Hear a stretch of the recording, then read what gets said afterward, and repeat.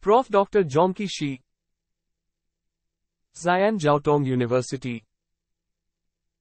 He is from China. He won the Best Researcher Award in the event of International Research Awards on Network Protocols by Science Father. Zhongqi Shi is a professor in the School of Materials Science and Engineering, Xi'an Jiaotong University, China. He is also a director of Shaanxi Engineering Research Center of Multifunctional Advanced Ceramics. He received his bachelor degree, 2004, in Materials Science and Engineering and PhD degree in Materials Science, 2009, from Xi'an Jiaotong University.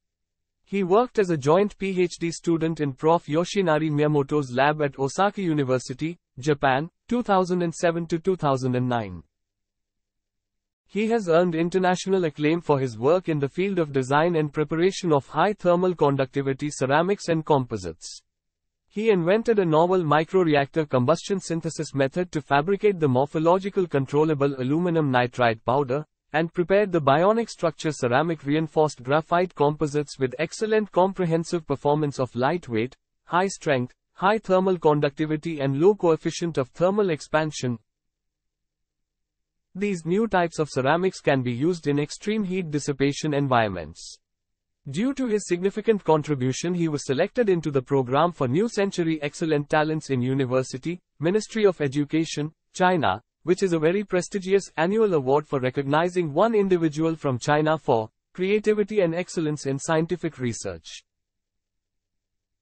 Prof. Shi has published 160 plus referred journal papers in top tier journals and trained many graduate students and postdoctoral fellows and other researchers. His contribution to ceramics and composites has also been recognized by several awards including the Natural Science Award of Jiangxi Province, 2021, and Young Excellent Talents Award in Shaanxi Province, 2013.